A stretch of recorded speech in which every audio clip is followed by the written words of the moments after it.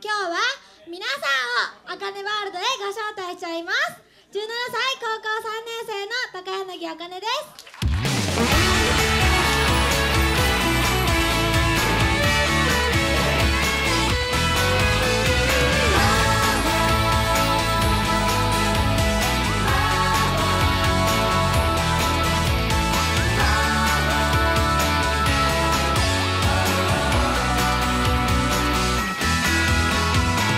チーム K2 サードラムネの飲み方公演が始まりました。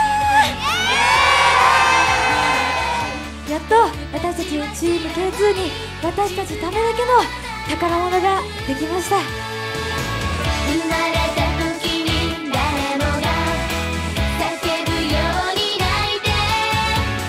本当に皆さんのおかげで本当に素敵な公演になりました。ずっとずっと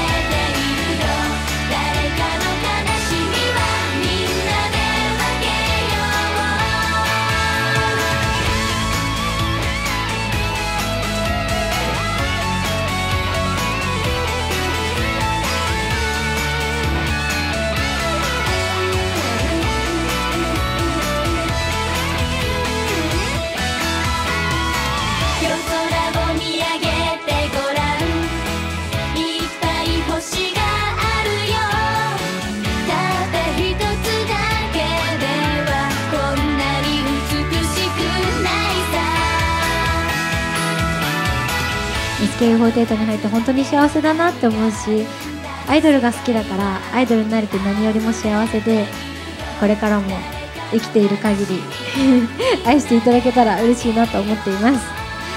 はい。